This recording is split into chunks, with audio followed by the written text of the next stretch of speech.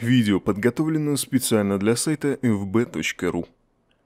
Актер Игорь Филиппов заполнился и полюбился зрителям благодаря роли Олега Анатольевича Ждана, летчика-испытателя в сериале «Журавль в небе». Предлагаем узнать некоторую информацию о его семейной жизни. Например, о том, какое красивое и необычное имя артист выбрал для своей дочери. Дочь Леона – главная женщина в жизни Филиппова. Это необычное имя имеет значение «львица» и греческие корни. Девушка – настоящая красавица. У нее есть собственный аккаунт в Инстаграм, количество подписчиков в котором чуть меньше тысячи. Как и ее знаменитый отец, Леона связала свою жизнь с актерским делом. В 2017 году она окончила ГИТИС. Сейчас на ее счету три работы. Студентка Даша в «Потерянном счастье», секретарь Аня в «Тещей-командире», парикмахер в «Молодежке». Несмотря на юный возраст, актриса родилась в 1996 году. У нее есть незаурядный потенциал, поэтому, по всей вероятности, Леону ждет неплохая карьера. И имя у нее настолько уникально, что можно смело отказываться от псевдонима.